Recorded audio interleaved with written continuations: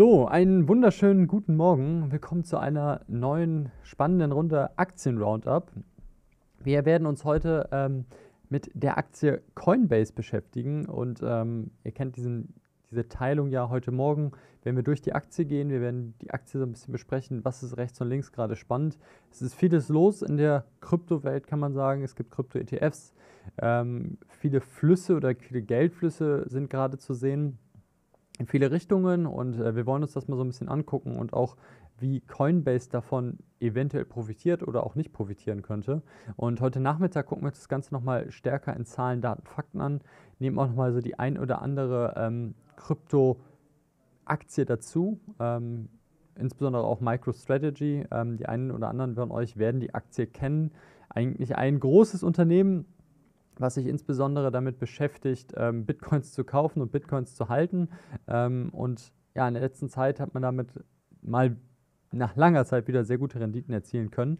Schauen wir uns alles an. Wir starten aber mit einer kurzen Übersicht ähm, zu der Aktie Coinbase. Und ähm, Coinbase gibt es ja noch gar nicht allzu lange, muss man so sagen.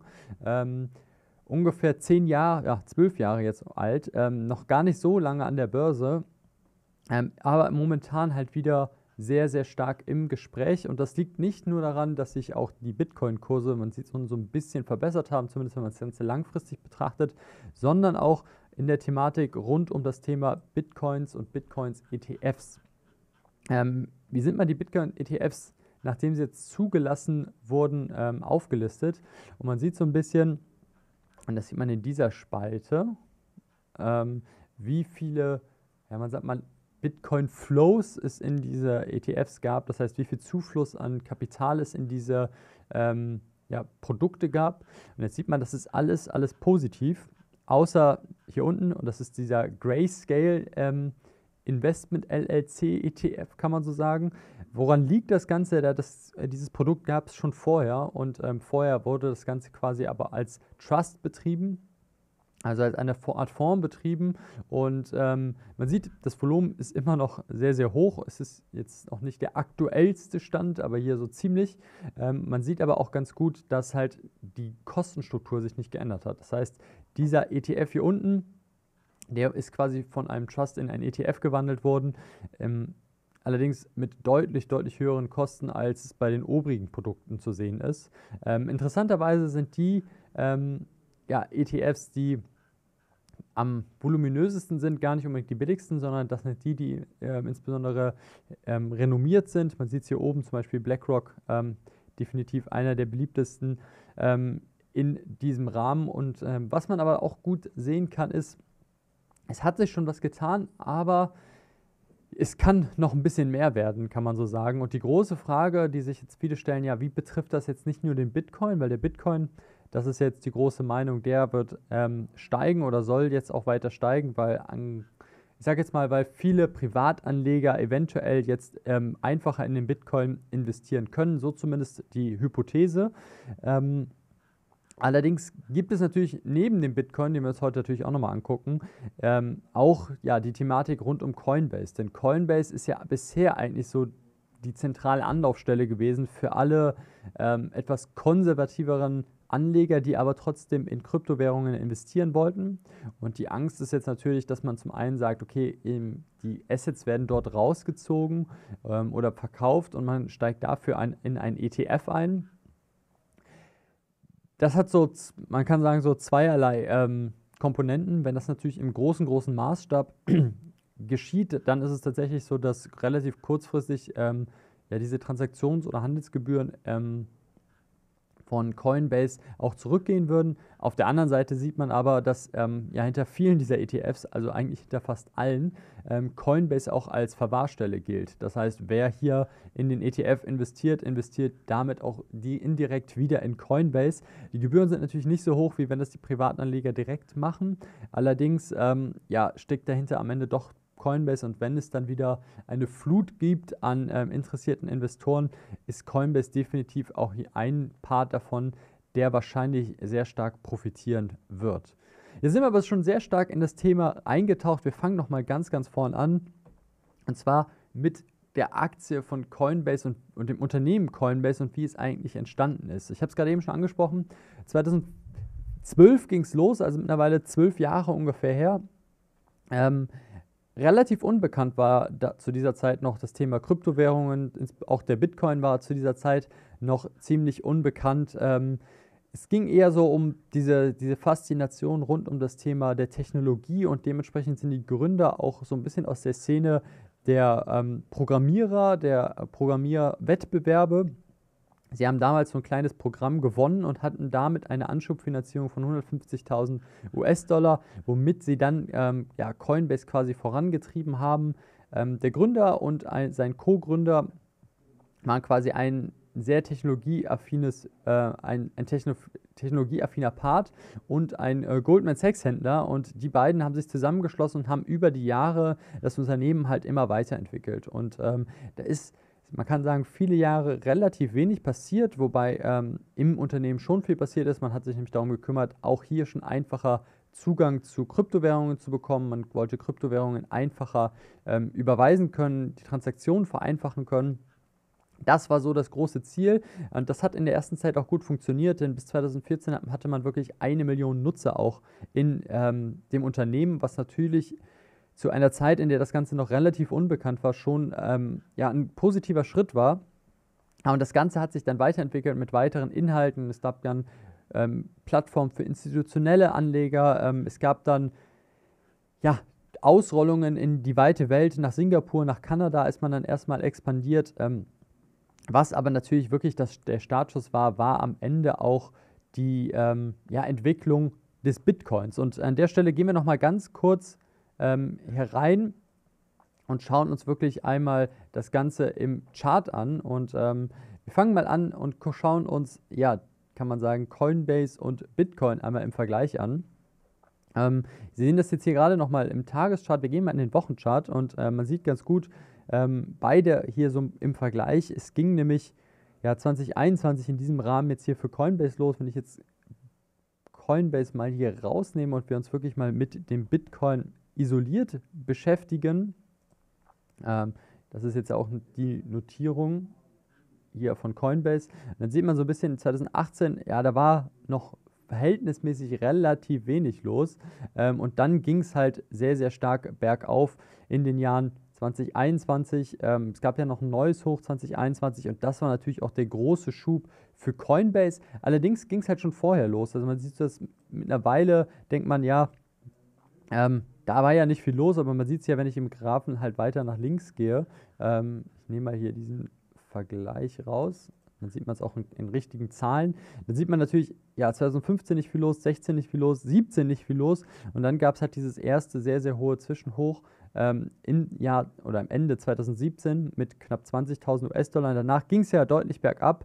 Ähm, Im Vergleich zu den Kurssprüngen, die es danach gab, sieht das Ganze natürlich relativ klein aus, aber damit ging es auch für Coinbase richtig los. Und äh, wir haben es gerade eben im Chart gesehen. Ja, es gab Coinbase zu diesem Zeitpunkt noch nicht. Ähm, allerdings gab es dann den Börsengang und ähm, dazu gehen wir nochmal kurz hierhin zurück.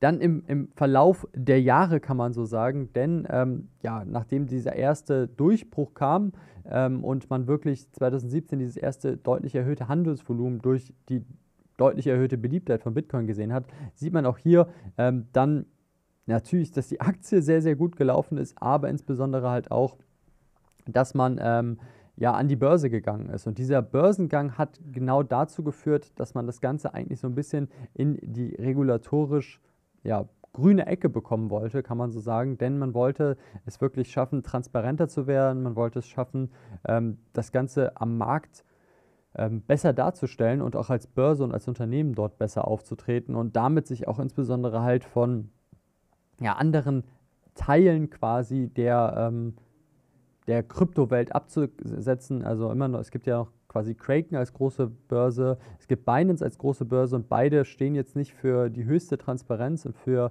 ähm, ja, die höchste Durchsichtigkeit für, für Außenstehende und ähm, dementsprechend wollte Coinbase hier so einen anderen Weg gehen, hat dann den Börsengang gewagt. Es war dann auch ein sehr, sehr fulminanter Börsengang und ähm, dieser Börsengang ja, hat dazu geführt, dass ähm, ja, die Aktie fast explodiert ist, aber allerdings sich relativ schnell wieder korrigiert hat. Ähm, man sieht das hier in diesem Chart ganz gut. Also es gab quasi den Börsengang und direkt ähm, nach, ja, den, oder nach den ersten Handelstagen und schon am ersten Handelstag, und sieht man, das sieht man hier im Jahr im April 2021, ging es deutlich, deutlich bergab. Ähm, von ja, knapp 430 Dollar, die man nie wieder erreicht hat, runter bis auf ja, knapp 200 Dollar. Dann gab es nochmal einen Zwischenhoch. Man hat es gerade eben beim Bitcoin gesehen, der, die Kurve passt ganz gut.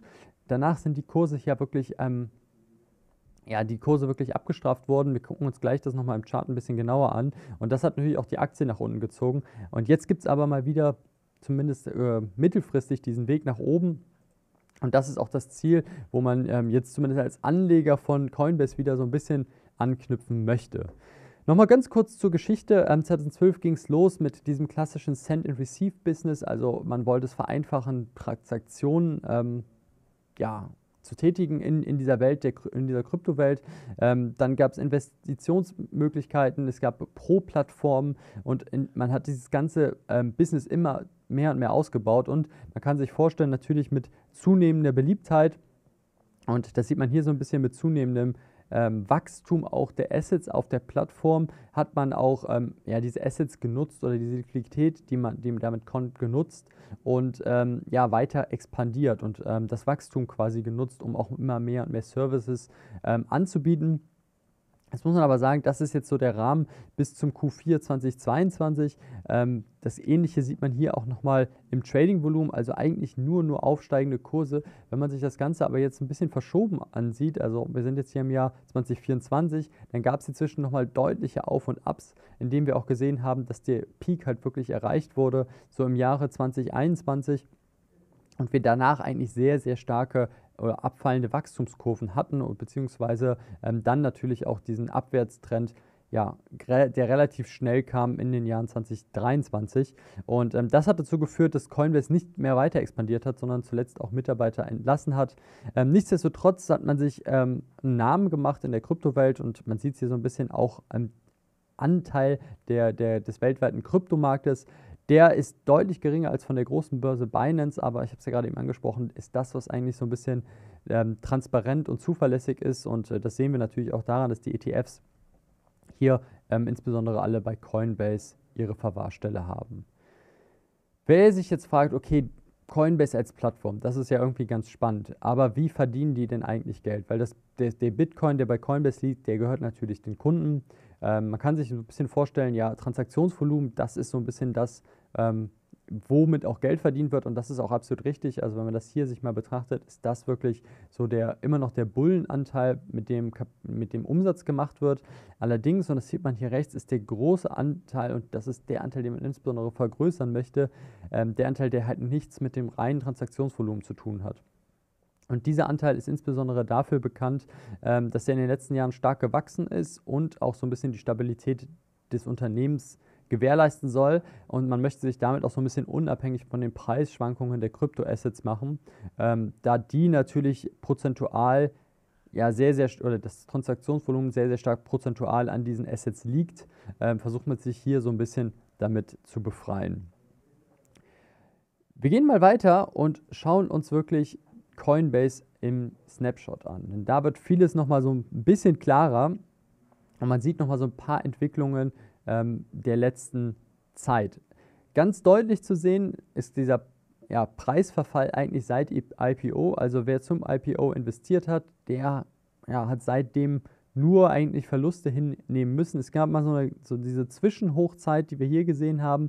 Allerdings ähm, ist man da auch nicht wirklich über den Preis, über den IPO-Preis gekommen, sondern ähm, man hat eigentlich ja über die ganze Zeit mit sehr, sehr stark fallenden Kursen zu kämpfen gehabt. Jetzt gab es wieder den Anschub. Ähm, alles so ein bisschen auch dadurch getrieben, dass sich die Märkte, die generell die Finanzmärkte besser entwickeln und natürlich auch dieser Hype rund um die Bitcoin-ETFs. Was wir aber sehen, dass mittlerweile aus ähm, Coinbase ein relativ beständiges Unternehmen geworden ist. Ähm, ich sage gerne relativ, denn ähm, wir sehen es hier oben, wir haben einen Umsatz mittlerweile im dritten Quartal 2023 gehabt von ungefähr 670 Millionen Dollar. Ähm, davon ist ein ganz großer Teil wirklich Grossmarge, Bruttomarge.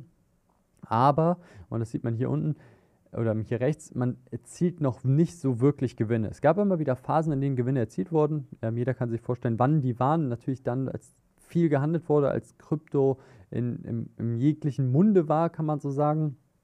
Aber mittlerweile, ähm, und ist es eigentlich so, dass man relativ stabil geblieben ist. Denn ich sage es mal so, im Jahr 2023 ähm, gab es einen, oder in, im, insbesondere im Jahr 2021 gab es einen großen Gewinn dann gab es einen, großen Milliardenverlust, also man ist von 3 Milliarden Gewinn zu 2 Milliarden Verlust ähm, im Jahr gekommen und jetzt pendelt man sich halt so ein bisschen um die Nulllinie ein und dann merkt man so ein bisschen daran, dass man jetzt auch so langsam vielleicht etwas erwachsener wird, als Unternehmen beständiger wird. Man hat Mitarbeiter auch ähm, entlassen, sich von Kosten getrennt, man hat diese extreme Expansion ein bisschen eingestampft und ähm, ja, versucht jetzt eigentlich auf so einen etwas solideren Pfad zu kommen. Und das ist das, was ich auch gerade eben angesprochen habe mit diesen ähm, etwas beständigeren Wachstumsraten, ähm, die man anstrebt. Und das ist auch das, was man mit diesen etwas beständigeren ähm, Umsätzen im Rahmen dieser Subscription Revenues quasi anstrebt.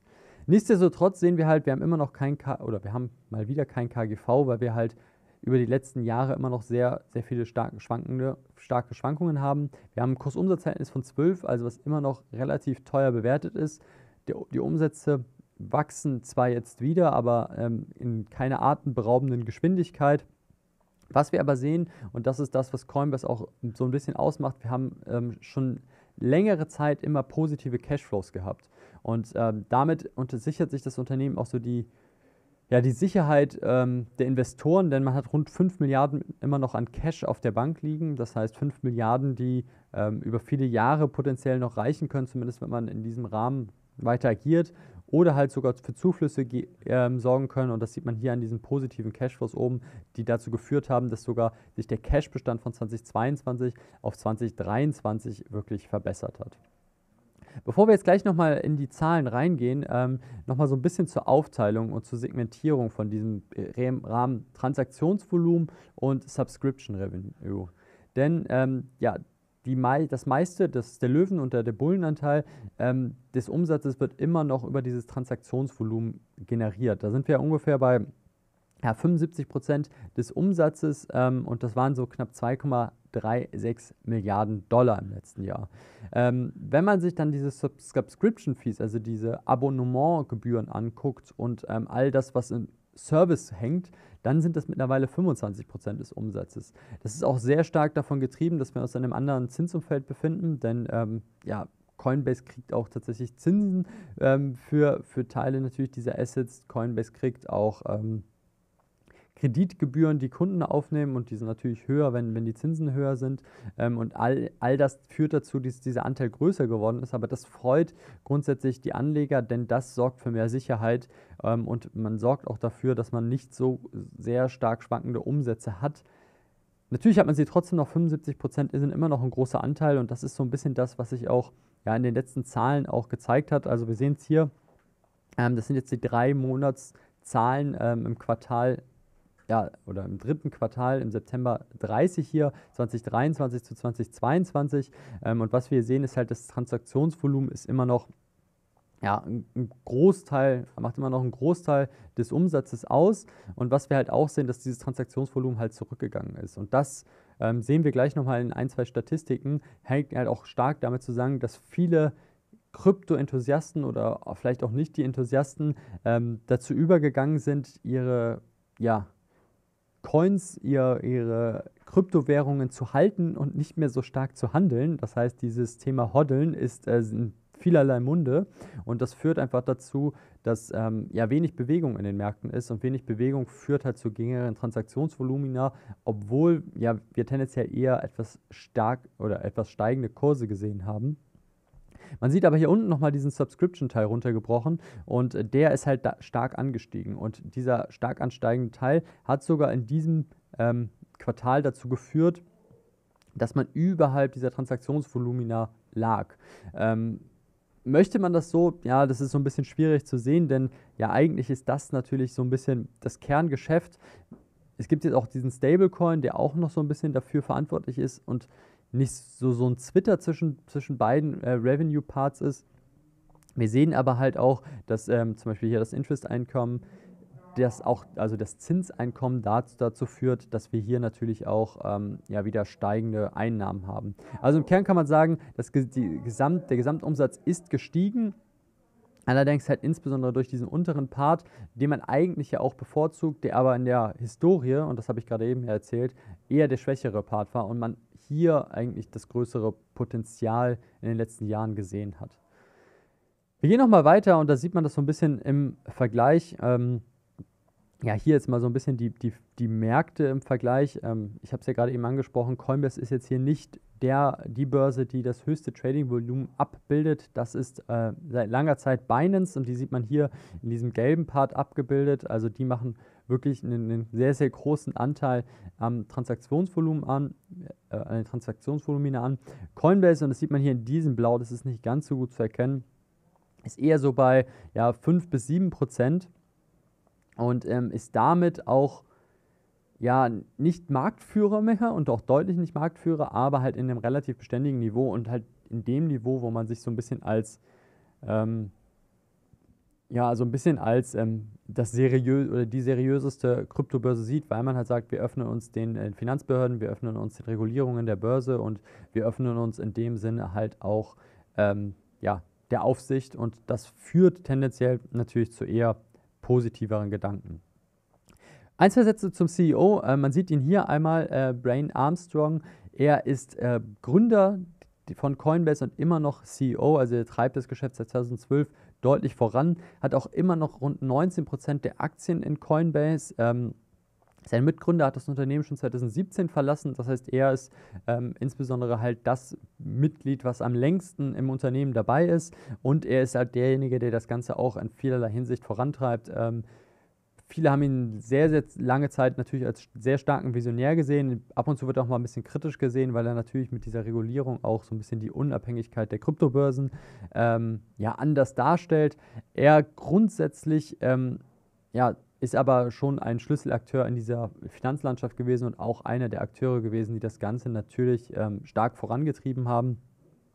Wenn wir jetzt wirklich mal in die Q3-Ergebnisse nochmal so ein bisschen reinschauen, ähm, hier jetzt mal so ein Part von FXC Intelligence, da sieht man so ein bisschen, wo denn die Probleme liegen und warum dieses Subscription-Teil auch mittlerweile so de, der der größere Anteil ist oder vielleicht auch künftig der größere Anteil ist. Äh, man sieht es hier ganz oben ganz gut. Wir hatten ähm, ja im Jahr 20 noch kaum Volumina.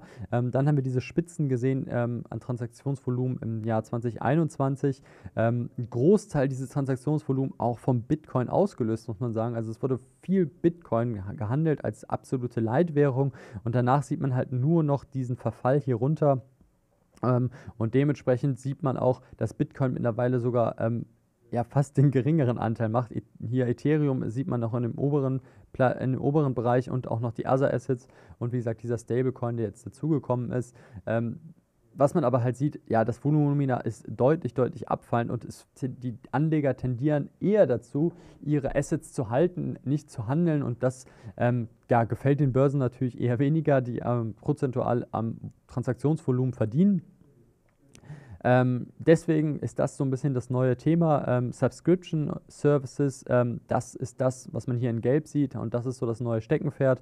Wie gesagt, vor kurzem oder im Jahr, ganzen Jahr 2022 kaum ähm, oder nur ein deutlich geringer Anteil. Wir haben dieses gesehen 25 zu 75 Prozent. Ähm, jetzt ja, wird dieser Anteil immer, immer größer und macht mittlerweile einen, einen größeren Anteil der Ergebnisse aus ähm, und sorgt aber halt auch für diese Stabilität, weil man sieht, ja, dieser Anteil wächst eher leicht, äh, während dieses Transaktionsvolumen oder die Kerzen des Transaktionsvolumens natürlich noch deutlich stärker schwanken. Das sieht man auch in den Ergebnissen von äh, Coinbase in diesem Fall. Also wir sehen es, ähm, wir hatten verlustreiche Jahre, wir hatten Jahre, hier sieht man auf der Achse die EBITDA-Marge angetragen, also eine Kennzahl für die Gewinnmarge. Ähm, die waren deutlich negativ sind da zwischenzeitlich mal positiv gewesen. Ähm, insbesondere natürlich in den Hochjahren ähm, hatten wir sehr, sehr gute ähm, ja, Jahre, in denen wir viel, viel ähm, Gewinn erzielt haben oder ähm, auch dann in diesem Falle EBITDA-Margen erzielt haben und sind dann aber deutlich abgestraft worden. Ähm, minus 20, minus 30 Prozent in dieser sehr, sehr starken äh, Phase, in der ja, es den, Bitcoin, den Verfall der Kurse gab und dementsprechend auch ähm, ja, den deutlichen Rückgang des Transaktionsvolumens. Ähm, und jetzt pendelt man sich so ein bisschen wieder deutlich besser ein. Ähm, natürlich ist das jetzt nicht der Rohgewinn, da hinten kommen noch viele, viele Kosten dazu. Ähm, wir haben, wie gesagt, in den letzten Jahren fast teilweise ähm, minus 80 Prozent äh, ja, Gewinnmargen gehabt und ähm, sind natürlich von dem Hoch absolut zurückgekommen. Jetzt stabilisiert sich das Ganze aber so ein bisschen. Habe ich alles schon mal so grob erzählt. Hier sieht es mal nochmal anders aufgestellt. Was noch ein weiteres Thema ist, über das natürlich viel gesprochen wird, ist das Thema Bitcoin Halving. Also da geht es darum, dass, dass immer weniger Bitcoins am Ende produziert werden können. Es gibt ja eine maximale Anzahl ähm, der Bitcoins, ähm, die produziert werden können und diese Geschwindigkeit muss natürlich irgendwie abnehmen. Das ist das Ganze, was so ein bisschen hier abgetragen ist. Wir wollen jetzt nicht zu sehr ins Detail gehen. Im Kern sieht man aber, dass das tendenziell natürlich dazu führt, dass der Preis steigt, denn ähm, ja, es ist eine Art Verknappung und diese Verknappung ist eigentlich eben eher preisfestigend und das ist das, was wir in der Vergangenheit gesehen haben. Jetzt muss man aber auch sagen, das waren halt oftmals vor Phasen, in denen ähm, ja, der, der, Bitcoin auch deutlich an Beliebtheit ähm, hinzugewonnen hat. Ähm, das sieht man hier so ein bisschen in diesen Spitzen. Und jetzt ist halt die große Frage, wie geht es weiter? Wenn man so ein bisschen in die Zukunft von Coinbase blickt, und das machen wir jetzt nochmal, bevor wir gleich uns nochmal äh, etwas intensiver kurz dem Chart widmen, da sieht man, dass man halt im Kern eigentlich sagt, wir sehen aktuell Krypto noch als Asset-Plattform. Dafür haben wir diese Lösungen. In der Zukunft sehen wir aber Krypto als deutlich in dem Rahmen, dass man das Finanzsystem schon verändert. Also man hat schon noch diesen Kerngedanken, hier deutliche Veränderungen voranzutreiben.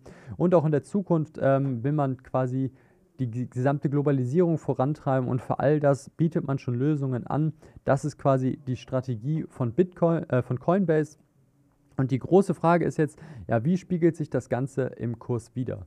Ähm, man sieht daran ein paar interessante Sachen und deswegen habe ich das Ganze mal diesmal etwas intensiver mitgebracht. Wir sehen hier mal den Wochenchart von Coinbase und ähm, wir sehen hier so ein paar Besonderheiten, kann man so sagen. Also man sieht grundsätzlich natürlich einen deutlich abnehmenden Trend, also einen Trend, der ja von 430 Dollar kam und im Tief so ja, bei ungefähr 30 Dollar lag. Und ähm, wenn man hier mal so die Fibonacci Retracements einzeichnet, dann sieht man tatsächlich an ein paar Stellen ein paar Besonderheiten. Denn man sieht, dass wir natürlich hier unten einen sehr, sehr starken Widerstand haben. Wir sehen aber auch tatsächlich, dass ähm, sich ja nicht nur Bitcoin, sondern in dem Fall auch Coinbase ganz gut technisch ähm, eignen. Denn man, weil wir sehen an eigenen Stellen, wo es immer so ein bisschen wieder knackt. Wir sehen das letzte oder den letzten Hochpunkt, den letzten kurzen Hochpunkt hier bei ungefähr 185 ähm, US-Dollar und auch das war natürlich hier so ein wichtiger Punkt. Ich habe hier oben drüber nochmal einen weiteren Widerstand eingezeichnet, also man kann hier so ein bisschen spielerisch werden, aber eigentlich ähm, passt das hier grob schon irgendwie rein. Man sieht es nämlich hier oben. Auch hier gab es mal so einen Punkt ähm, im März 2022, wo es mal so ein bisschen geknackt hat, ähm, wo es eigentlich so sich eine Unterstützung ausgebildet hat, die dann am Ende aber zum Widerstand geworden ist. Und das ist auch tatsächlich der Widerstand, an dem wir zuletzt hier hängen geblieben sind. Ähm, wir haben jetzt mal die 50-Tages- oder 50-Wochen-Linie dabei, denn ähm, hier so alt ist die Aktie noch nicht, wie wir gerade eben festgestellt haben, die hier als Unterstützung dient. Wir sind aber grundsätzlich lange Zeit halt in diesem roten deutlichen Abwärtstrend gewesen. Und äh, der hat sich, wurde erst hier vor kurzem eigentlich gebrochen, ähm, hier im Oktober 23 und seitdem bildet sich halt auf dieser blauen Linie jetzt mal wieder ein Aufwärtstrend auf, der halt wie gesagt an diesem ähm, Retracement hier auch hängen geblieben ist, an diesem Widerstand hier hängen geblieben ist und hier ja, könnte es sein, dass sich natürlich hier so eine Formation auch in der Zukunft aus oder, oder bildet, die ja auch dann wieder so ein wenn man jetzt rein charttechnisch draufbringt, wieder ein ganz interessantes Muster bilden könnte. Ähm, es bleibt so ein bisschen spannend, was hier jetzt so passiert in den nächsten Tagen und Wochen, ähm, wie diese Kerzen hier weiter verlaufen. Wenn man rein auf den Bitcoin schaut, dann sieht der natürlich so ein bisschen positiver aus, denn wir sehen hier so eine ähm, ja, lange Seitwärtsphase, aus der wir ja, mal wieder ausgebrochen sind seit langer, längerer Zeit. Wir sehen es hier im Oktober, hat man einen deutlichen Schub nach oben ähm, und dieser Kanal oder dieser Trendkanal ist eigentlich auch immer noch intakt. Also wir haben hier zwar das Hoch gesehen ähm, und hier bleiben wir auch gerade wieder so ein bisschen hängen. Ähm, wir haben es in den letzten Wochen auch gesehen. Da ähm, ja, war es relativ schwierig oder war es mal wieder etwas schwieriger für für den Bitcoin, aber wir sehen, wir sind grundsätzlich noch in diesem positiven Trendkanal und wir wissen am Ende hängt Coinbase und der ähm, ja, die Aktie von Coinbase sehr, sehr stark auch an diesen Entwicklungen. Ähm, Bitcoin ist immer noch so mit ähm, ja, der Löwenanteil, auch wenn das Ganze sich, wie wir gesehen haben, so ein bisschen dreht. Ähm, ihr kennt die Frage, die ich an der Stelle stelle, ähm, also was machen wir ähm, mit der Aktie von Coinbase nehmen wir sie auf in unser Market Roundup Depot. Wir sind schon ein bisschen über die Zeit, deswegen springe ich gerade mal ganz kurz durch die letzten beiden Themen, denn wir sehen hier nochmal ganz kurz abgebildet, was ist Pro und Contra. Ähm, auch das haben wir eigentlich schon so grob zusammengefasst. Ihr dürft gerne einmal abstimmen. Ähm, das wäre tendenziell auch mit einer der letzten Aktien, die wir, wenn ihr das Ganze positiv seht, kaufen würde. Ich sehen, bin ja immer so ein bisschen skeptisch, was das Thema ähm, Coinbase und Kryptowährungen grundsätzlich betrifft. Ähm, wir sehen, haben da relativ positive Bewegungen in der Vergangenheit gesehen. Es wurde viel getrieben jetzt ähm, aus dem Thema Bitcoin-ETFs raus. Es ist die große Frage, wie werden jetzt wirklich die Zuflüsse sein? Ähm, aktuell skizziert sich so ein bisschen das Bild, dass man vielleicht etwas zu euphorisch war, aber so richtig Klarheit werden wir wahrscheinlich erst in den nächsten Wochen und Monaten haben und das werden auch die nächsten Coinbase-Zahlen dann am Ende wieder bringen. Wir werden uns dem Ganzen etwas intensiver und technischer und ähm, ja, analytischer nochmal heute Nachmittag widmen. Ähm, also Kryptoaktien werden im Fokus sein. Wir gucken uns Coinbase nochmal in Zahlen an. Wir gucken uns äh, MicroStrategy nochmal in Zahlen an und dann geht es nächste Woche Wieder weiter mit dem Market Roundup und dem Aktienbasiskurs. Die Abstimmung ist im vollen Gange. Ihr seid noch sehr, sehr unentschlossen. Ähm, das kann ich gut verstehen. Ich lasse sie noch mal ein bisschen laufen, während wir hier gleich einmal weitergehen. Ähm, ich sage an der Stelle Tschüss und übergebe wieder. Bis dahin.